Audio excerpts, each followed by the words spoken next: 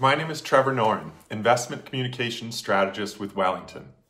For 40 years, Future Themes has been instrumental in shaping the firm's long-term investment outlook. The question at the heart of the initiative has been a constant. What are the trend lines that will define markets, societies, and economies over the next five to 10 years? Future Themes leverages the firm's breadth of expertise to find answers and deliver actionable insights. The research is done, and now it's time to present. We kicked off with a sit down with Dara Dunn, the leader of this iteration of Future Themes. He and I discussed the architecture of the research effort and the key insights from each of our four areas of focus, the four S's sustainability, systems, society, and science. Over the last two weeks, we drilled down into our first two S's, sustainability and systems. Today, we tackle the third, society. From digitization to automation, technological progress has already disrupted how we work, how we play, and how we educate ourselves and our children. Yet, as Future Themes research attests, we are only in the early innings of this digital transformation. From the young to the elderly, what comes next? It's a question that is not only vital to future investment returns, but how we live our lives. Luckily, we've brought together an incredible collection of experts to offer guidance. With that, I'll turn it over to Caitlin.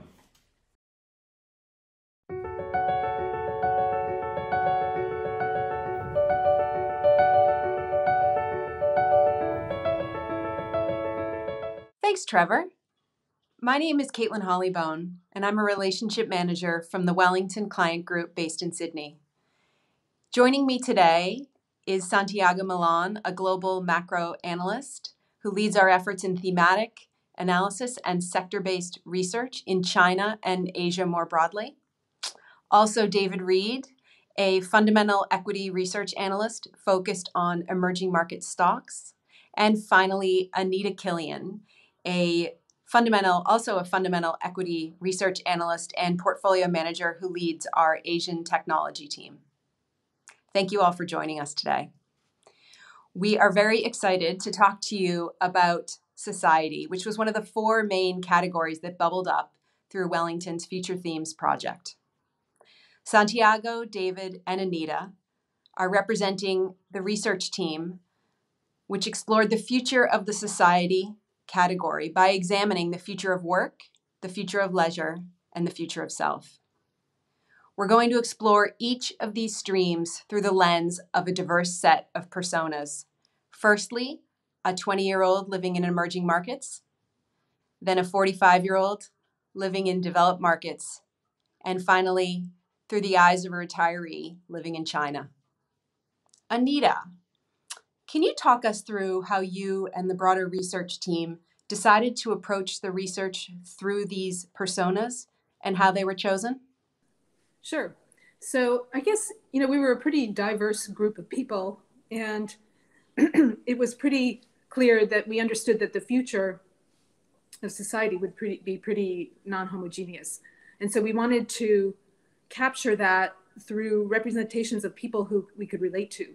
And so um, so that was sort of how we came up with the idea of archetypes. And then in the concept of an archetype, you really wanted to encompass a broad swath of society. And so we tried to be very comprehensive with how we tried to cover all the bases. So gender, geography, age, etc.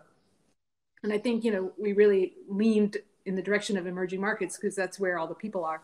So there was a very strong emphasis on that. And then from, I was on the senior citizen group, and the way we approached the research was really to take all of the contributions that we, people at Wellington gave us, all their ideas, and then cull through those and try to map those out into um, a story around Fang, our senior citizen in China. And it was really a amalgamation of many people's ideas that were combined to create a scenario that might be realistic. And then the research on top of that was really trying to go into the current state of the research in the world that by professionals in these areas and and try to validate that so that we weren't just making things up and writing science fiction because it's really fun to think about the future and it's really easy to fantasize about what might be, but we wanted it to be grounded in some sort of reality. So once all of those ideas were culled through, then the work was to try to ground that into some kind of actual tangible reality of what we think will really happen. Thanks, Anita. Um, we might switch gears a little bit now and, and dive into one of the um, investment themes that came out of the uh, young person living in emerging markets. Um, David Reed participated in this uh, research stream, and we um, we wanted David to have you talk us through um, the technology-led education theme and how you think we will all learn in the future. Sure, thanks, Caitlin. Um, so, as you said, our, our, research focused on what life might be like for a young lady in India uh, in the future. And our work centered around entertainment, uh, relationships, and education, all things that are pretty fundamental for, for any young person. Um, we quickly realized that education is going to look very different over the next couple of decades. Uh, advances in technology, and by that, and I mean anything from sensors through to video streaming, uh, mean that we're moving beyond digitizing existing processes in education uh, and towards real scalable delivery uh, of education in what are called digital learning environments. Uh, and this has a, the potential to change a great deal. Um, most classroom time is currently taken up with teachers essentially lecturing to students in a broadcast fashion uh, to impart knowledge. Um, and if technology can help deliver that in a more efficient manner, uh, it frees up teachers to concentrate more on activities like coaching, for example, which we know can be hugely beneficial for student outcomes. The other key advance uh, in technology is the area of big data, AI, and other related technologies. Um, that's a big collection of buzzwords, but fundamentally, what these allow you to do is manage high levels of complexity uh, in dynamic environments in an automated fashion. Uh, and that's very powerful uh, for application to the field of education, where complexity and responsiveness to individuals have been the biggest obstacles to scaling and automation so far. It does seem like a, a different environment that the um, that we'll be learning in in the future. Is this, you know, as as an emerging markets investor yourself, you know, are you thinking about this as an investment opportunity today, or is this is this only just the beginning? Yes, very very much. We we, we think uh, you know education is a very unusual space at the moment. It's a, a huge addressable market, uh, and it has minimal technology penetration. So we spend about as much on education as we do on healthcare. Um, but the global market capitalization of education stocks is actually an order of magnitude lower than the healthcare sector. Uh, and only about 4% of the spending in education uh, is on technology at the current time. Um, so there's potentially a lot that can change. And what's interesting about now, when we look forward to the future, is that there is also real evidence of an inflection point here. So if you look at the venture capital space, for example, the amount of money being invested in the space has gone up fivefold over the last three years. And we don't think this is just a private market story either. Um, we do think that the existing online platforms are in pole position to establish themselves in this space. Uh, they possess strong development resources, they have expertise in key technologies, and they've also got plentiful access to capital uh, along with entrepreneurial cultures. But perhaps most crucially of all, they've got direct access to the population, and that's going to reduce the customer acquisition cost for them. So they're they're really in the the, the sweet spot to to take advantage of these uh, trends. And is there any particular relevance to this angle um, from the perspective of India? Absolutely. Um, we think the implications of future education technology on emerging markets is going to be uh, much more profound uh, than for developed markets. Uh, and the first point to note is that's where all the growth is. Over the next 30 years, uh, we're going to see about 2 billion more pupils. And the biggest growth is actually going to be in the secondary and tertiary levels of education amongst emerging markets. And then the other thing we have to bear in mind is that the emerging markets are also much more ripe for disruption. This is a big generalization, but the public provision of education services are much weaker in many emerging markets. And the value added uh, through giving greater access to high quality education in a digital fashion uh, can be that much greater. Um, but potentially, this is also a really big deal for the world economy. Uh, the last half century has seen a powerful wave of globalization, and that's been primarily concentrated in what you might call blue collar roles uh, related to manufacturing. Um, we're already seeing signs of what I would call white collar globalization taking place. And that should be very good for global growth. Uh, and it should also be very good for the future earnings power of our uh, young lady in India uh, and people of her generation. Thank you, uh, David. We might um, we might come back to this topic when we're talking about the other other personas, as education is is something that's going to touch all uh, all um, cohorts uh, of the population going forward. It looks like um, now, or the changes in education. Um, now, Santiago, um, if I can, um, I have, I have a bit of a question for you as as a macro investor. Can you talk us through some of the themes that permeated across all three personas? Um, I know digitization uh, was a mega theme that stood out um, in the process. Um, but any thoughts, um, what it means for labor markets, entertainment from a community perspective would be interesting. Sure. So, one of the things that really struck me, uh, I guess, after we did this was how many threads or how many themes were relevant across the geographies and across the cohorts. It seems to me like this is also a future theme in and of itself a convergence of sorts. And so a long time ago, probably, you know, the young people were very different from the middle aged and the older people in what they did, even in what kind of lifestyle they could uh, aspire to experience and the things that they would do in their everyday life. One of these themes, uh, David just talked about, is education. Education is now relevant across uh, young people, old people, middle aged people, and also pretty much everywhere. And it's becoming increasingly uh, standardized, as David was was saying, and and a part of that is that theme that you alluded to, which is digitization. And digitization is something that's been happening for a very long time. I'll reveal a little bit about my age. I remember the moment when I got a digital watch in the late 1970s. And I thought that the world was fully digitized then. What more, how much more could you digitize from that point? Well, it turns out there was a lot. And I think one of the things that we are learned with this is that even though it's hard for us to see, there's actually exponential amounts of further digitization to go through. It, just as it seems like the world is just a universe of difference in digitization today from what it was in that 1970s episode with my watch, uh, we are going to see increasing levels of digitization across everything that we see, from labor markets where lots of the information and our digital footprints actually help us and our empl- employers have much better matching markets. In fact, one company we were just talking about in one of our uh, morning meetings uh, does just that in China. So the future is arriving already. Uh, there's also digitization of entertainment, uh, entertainment becoming more virtual.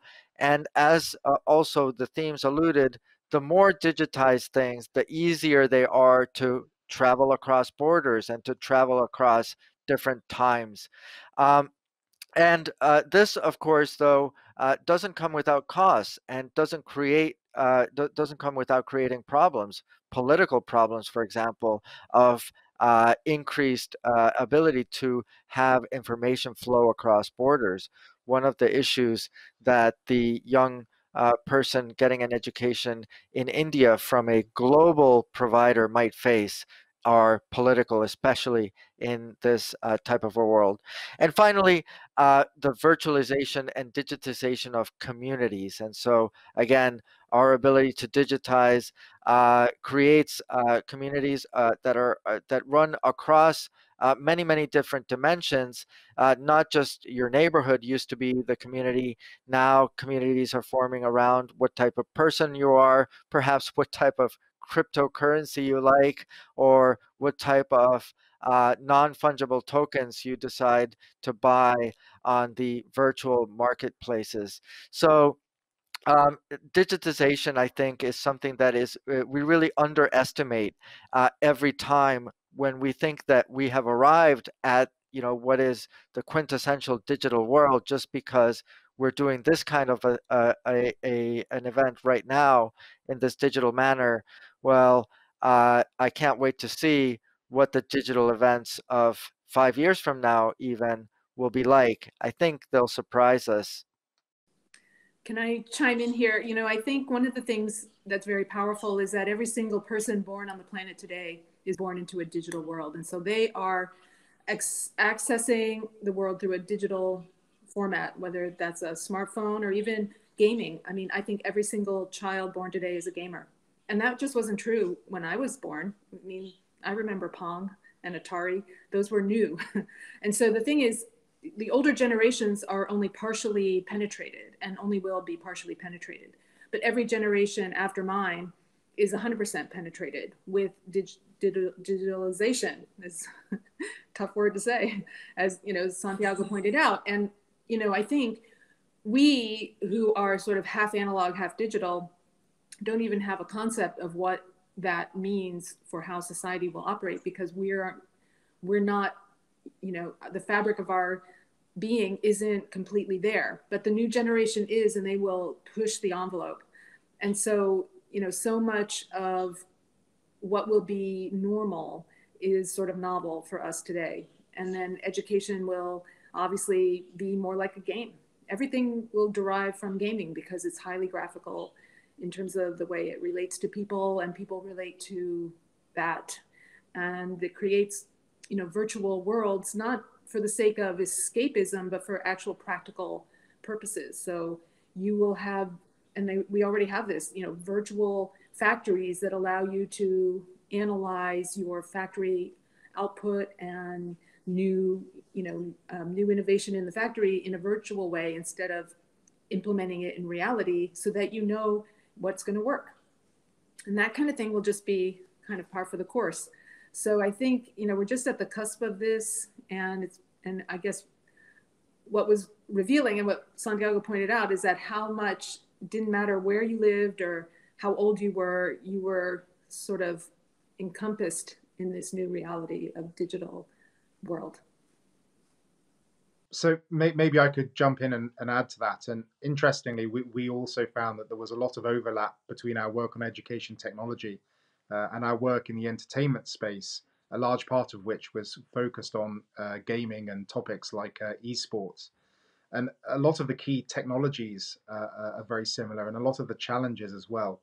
And perhaps that's not so surprising when you realize that ultimately both of these activities are fundamentally about growing mindshare in, in an effective manner. Excellent. Um, you know, I think um, you've all had a chance to flesh out some of this research with other colleagues uh, internally within Wellington. Uh, be curious to understand if there were any areas of pushback that you received from, or or key questions that um, some of the other um, investors within Wellington uh, posed to you all. Well, I think the biggest one is time horizon, and how do we translate these ideas into near-term investment ideas? and that's always you know always the challenge i guess being a tech investor you know i always say tech is the future. So you know if you want to participate in some of these themes obviously technology investment is the way to go.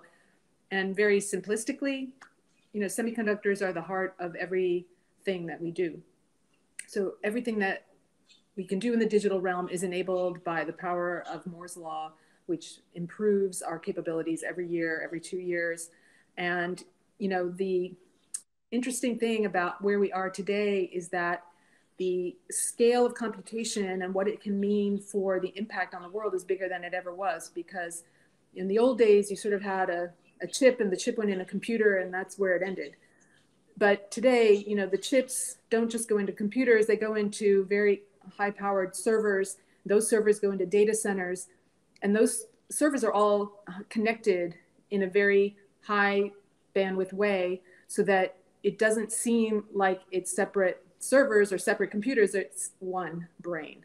So now you have a whole data center, which is the computational core of your whole um, pro program. And, and that's, you know, the kind of scale we've never seen before. So suddenly you can do things you didn't even think was possible. And I think that's where, you know, we haven't even begun to see where that can bring us, but some of these ideas we are talking about are the outcome of that. But fundamentally, what are you doing? You're buying chips that go into data centers, and that's the foundational infrastructure that allows this future reality to happen. I, I can mention one pushback that uh, I think was very constructive, and actually it's a it's a it's a good reminder. Uh, is you know people asking how much of our future vision was uh, uh, subject to recency bias, and in other words, we've seen COVID. Uh, COVID has made made us uh, forced us to experiment with all sorts of different technologies, and it's also forced us to adopt them and live with them. For example, I see that all of us are, well, all of us except for one are doing this from home. Um, and so the question or the pushback is, you know, are you getting a little bit carried away with this digitization, with this virtualization?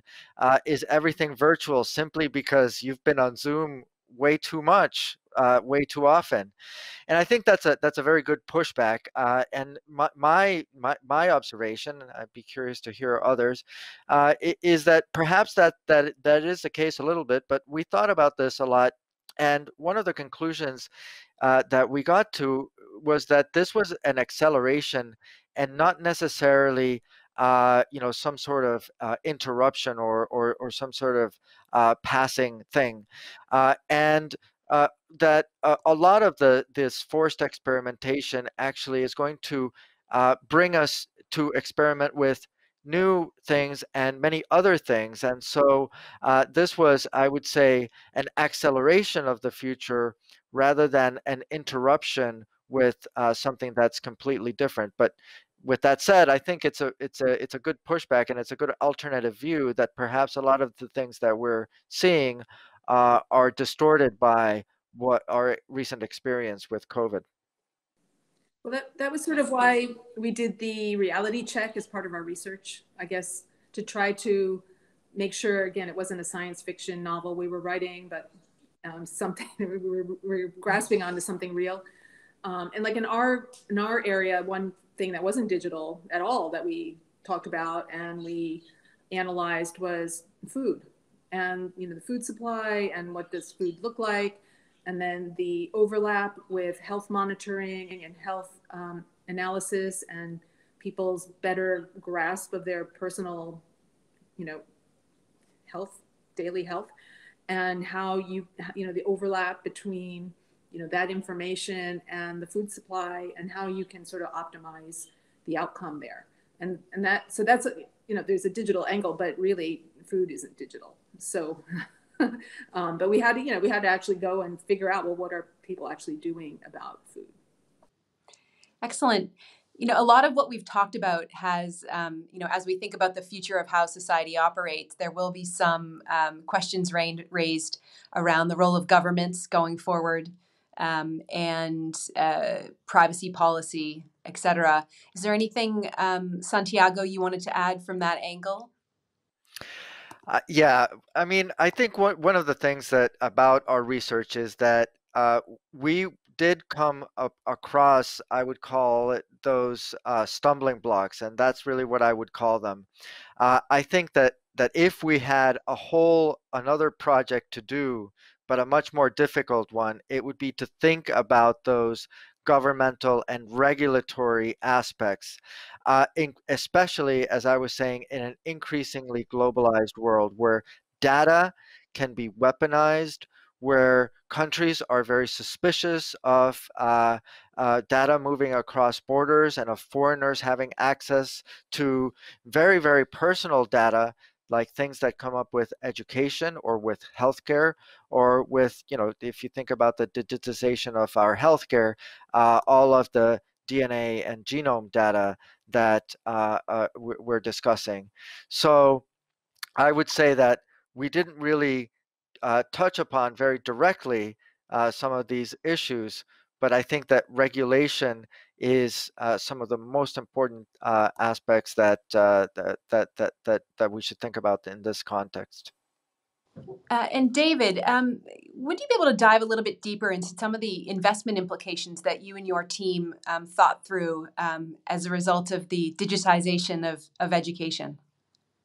Uh, sure. So um, when we were evaluating the investment opportunities that are available to us today, uh, we spent some time exploring what sort of business models uh, we think might succeed in the education tech space. Um, and as marginal costs trend towards zero, um, there will be an, a strong incentive to aggregate onto large online platforms. And that's something we've already seen with many disruptive tech companies. We, uh, we all search on Google, um, unless we're searching on Bing, perhaps. Uh, and, and most of the world now has an account on Facebook, for example. Um, but we think that education procurement is going to remain uh, very complex. Uh, it's going to remain fragmented. And that's because it's driven by multiple interest groups. So you, you obviously have the, the pupil, um, but parents, uh, teachers, and government uh, also all have uh, an opinion on how things should be done. So we think this is going to be a winner takes most market rather than winner takes all, as we've seen in some other tech areas. Um, and the companies that will come out ahead will probably either have large home markets or, or business models with uh, international appeal. And that's so they can gain critical mass and sustain the necessary investment um, because this isn't going to be a capital light business. Um, we also think that uh, so called 3P business frameworks, uh, which invite the cooperation with third party uh, content providers, for, for instance, um, are going to be necessary to manage the uh, significant level of complexity. Excellent. Well, um, I think we um, might end it there. Um, thank you, everyone, for spending some of your screen time today with all of us to explore the uh, future themes um, that may occur um, around the future of work, the future of leisure, and the future of self. We look forward to continuing these conversations over time and thank you again.